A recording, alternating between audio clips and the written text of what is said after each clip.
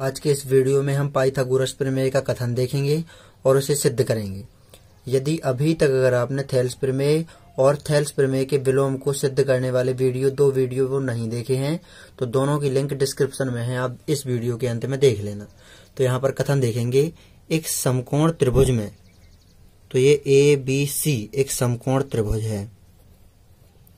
इस समकोण त्रिभुज में कर्ण का वर्ग ए सी है कर्ण कर्ण का वर्ग शेष दो भुजाओं के वर्गों के योग के बराबर होता है। कर्ण का वर्ग, कर्ण ए सी ए सी का वर्ग, अन्य दो भुजाएँ ए बी और बी सी अन्य दो भुजाओं के वर्गों के योग के बराबर होता है। ये कहती है पाइथागोरस प्रमेय।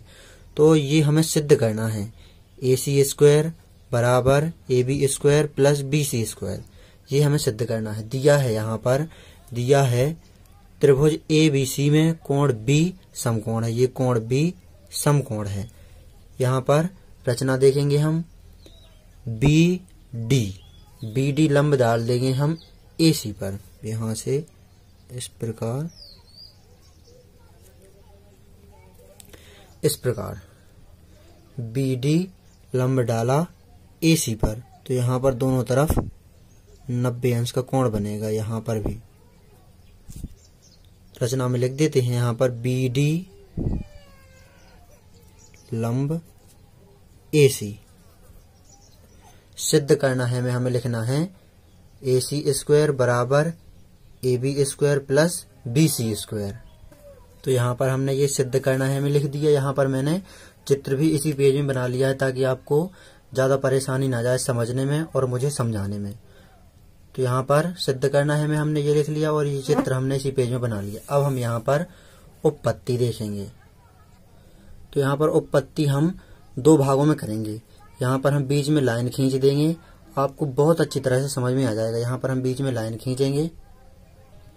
तो उपपत्ति में हम एक बार लेंगे त्रिभुज ए, डी, बी व त्रिभुज ए, बी, सी। यहाँ पर लिख लेते हैं त्रिभुज ए, डी बी, व, त्रिभुज ए, बी, सी में। और दूसरी बार लेंगे हम त्रिभुज बी, डी, सी, व त्रिभुज ए, बी, सी।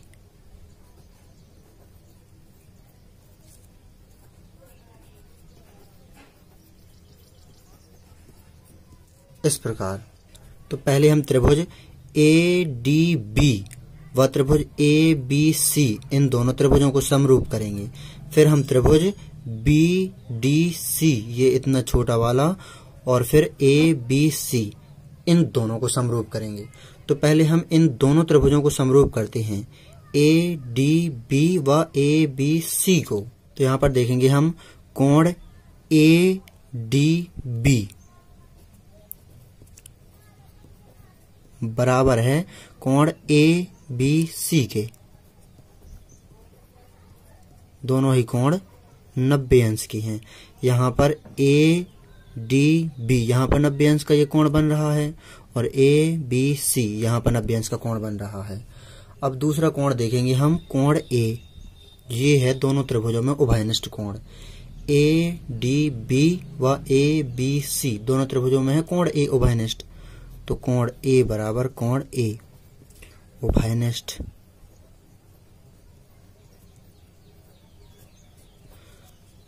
अब यहाँ पर दो कोण बराबर हैं, यहाँ पर दोनों त्रिभुजों के तो दोनों त्रिभुज हो जाएँगे समरूप।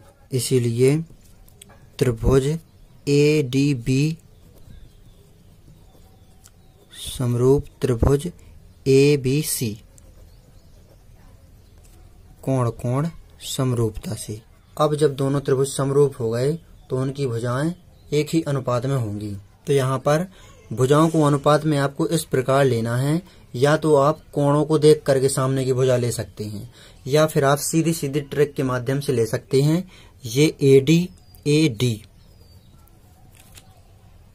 अतः यहाँ पर भुजाएँ अनुपात में हो जाएँगी।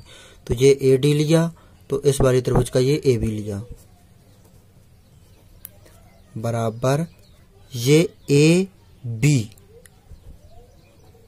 इस त्रिभुज का लिया ए बी तो इस त्रिभुज का लेंगे ए सी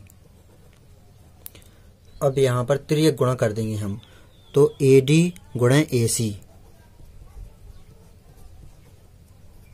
बराबर ए बी का गुणा ए बी में होगा तो हो जाएगा ए बी स्क्वायर समीकरण एक नाम दे देंगे।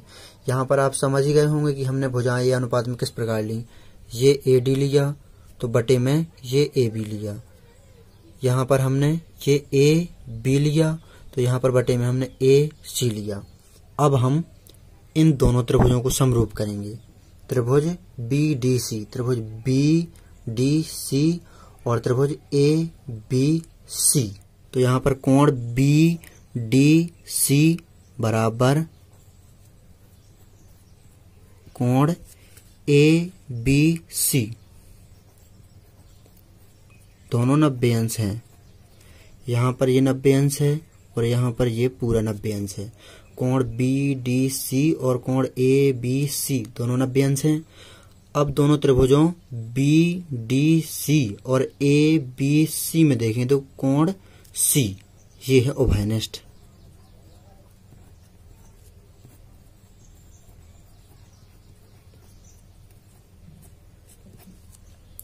अब यहाँ पर दो कोण बराबर हैं दोनों त्रिभुजों में तो दोनों त्रिभुज हो जाएँगे समरूप।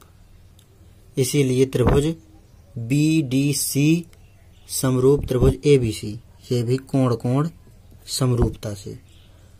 अब यहाँ पर दोनों त्रिभुज समरूप हो गए तो उनकी भुजाएँ एक ही अनुपात में हो जाएँगी। तो यहाँ पर या तो आप संगत कोणों के सामने की भुजाएँ अनुपात में ले सकते हैं, या फिर आप सीधे ट्रिक के माध्यम से यहाँ पर अनुपात में भुजाएँ ले सकते हैं। मैं बताऊँगा किस प्रकार लेना है आपको। तो यहाँ पर अनुपात में इस प्रकार लेंगे हम। भुजाएँ डीसी ये हमने डीसी लिया तो ये हम लेंगे बीसी अब लेंगे हम बी और सी बीच का हमने छोड़ दिया बी और सी लिया तो यहाँ पर लेंगे ए और सी यहाँ पर भी बीच वाला छोड़ देंगे। अब हम यहाँ पर त्रियक गुणा कर देंगे तो यहाँ पर डी सी गुणा ए सी हो जाएगा। डी सी का गुणा ए सी में हो जाएगा इस प्रकार। और बी सी का गुणा बी सी में होगा। त्रियक गुणा होगा तो बी सी का गुणा बी सी में होगा तो हो जाएगा बी सी स्क्वायर इसे हम दे देंगे समीकरण दो नाम। अब हम यहाँ पर समीकरण एक और समीकरण दो को जोड़ देंगे। तो यहाँ पर बाएँ भाग से बाएँ भाग को जोड़ेंगे। तो यहाँ पर ए डी गुणे ए सी प्लस डी सी गुणे ए सी बराबर A B square plus B C square अब हम आगे सॉल्व करेंगे यहाँ पर। तो यहाँ पर ए सी ले लेंगे कॉमन तो यहाँ पर बचेगा A D plus D C और बराबर में इस तरफ़ ये ज्यों का त्यों। अब हम यहाँ पर आकृति को देखेंगे। तो यहाँ पर देखेंगे हम। तो यहाँ पर A D plus D C A D plus D C जोड़ेंगे तो हो जाएगा ए सी ए डी और डी सी को जोड़ देंगे तो ए सी हो जाएगा। तो हम इन दोनों की जगह पर ए सी लिख देंगे। तो ए सी ये बाहर और इन टू में इन दोनों की जगह पर हमने ए सी लिख दिया।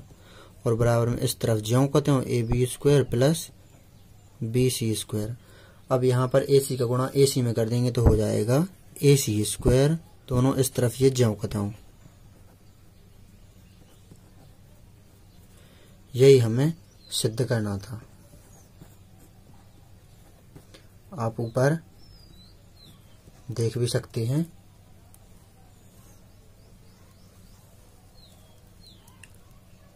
यहाँ पर ये। तो ये हमने यहाँ पर सिद्ध कर दिया।